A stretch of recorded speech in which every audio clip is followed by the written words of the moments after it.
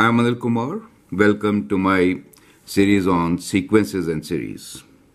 Here is a very important test question on geometric series. The question is An oil well produces 400 barrels in its first day of production. Its production decreases by 0.1% each day. Find how many gallons this well will produce before it runs dry. Assume 42 gallons in one barrel. Now, this is a practical application question. I'd like you to pause the video, answer, and then look into my suggestions. So, as we understand, initially it produces 400 barrels. Now, when we say that its production decreases by 0.1% each day, it means what? The next day, it will be 99.9% of 400. So that will be 99.9% of 400. Right? So that 99.9 means it will be 400 times divided by uh, 100 will give us 0.999 correct. Then the next day it is going to be 99.9% of this right? 1% 0.1% less.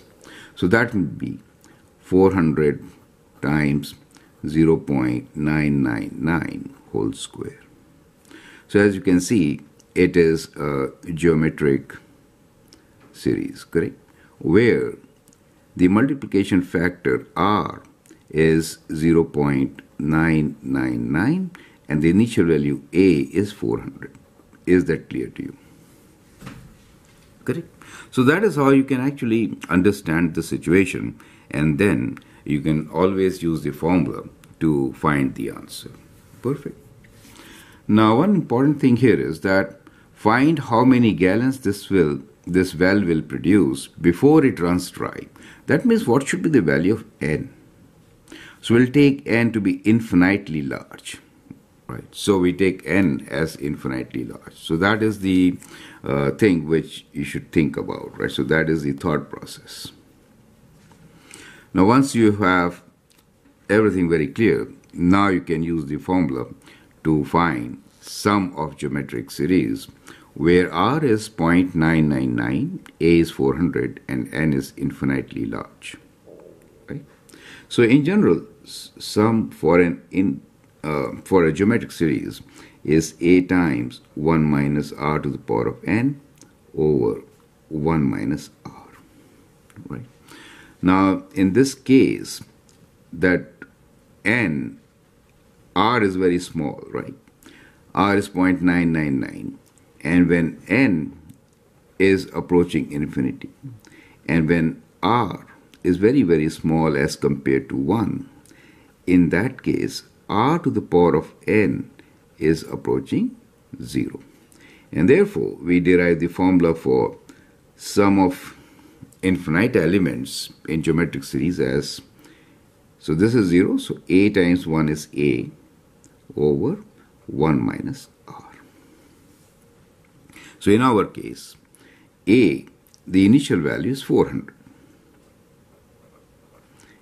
And the denominator will be 1 minus, and the factor is 0.999, correct?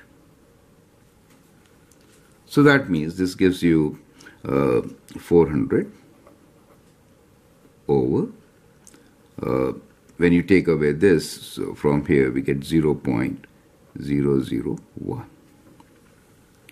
So that means the sum is equal to 400 and 1000. 400,000 and the units are in barrels. Now we need to find how many gallons. We are also given that there are 42 gallons in one barrel. So that is equal to 400,000 times 42. So, so when you multiply, so we have so many zeros, 100 1, 2, 3, 1000.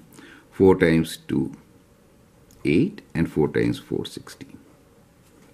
So all the options are 1.68 something. Only thing we have to decide is the magnitude, right? So it is uh, 1, 2, 3, 4, 5, 6, 7, right? So it is equal to 1.68 into 10 to the power of 7 barrels,